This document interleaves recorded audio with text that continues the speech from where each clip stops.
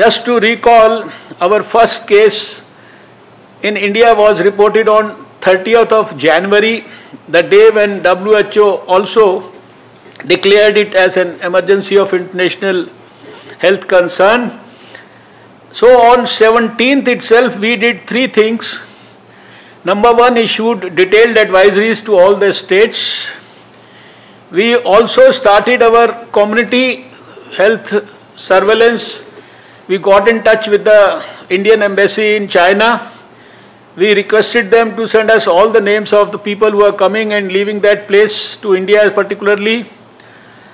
And also, we planned to start thermal screening at our seven international airports for people who were coming from China and Hong Kong. And this is a process which got started and we have never looked back from that day.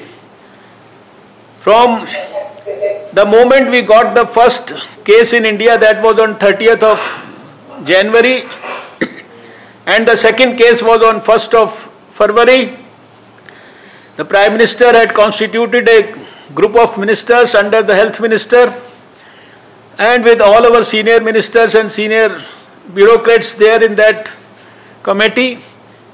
This group of ministers has already met 13 times and in the last meeting Mr. Amitabh Kant also reported in great detail your great work that you the great NGOs and the uh, dedicated people are doing all over the country.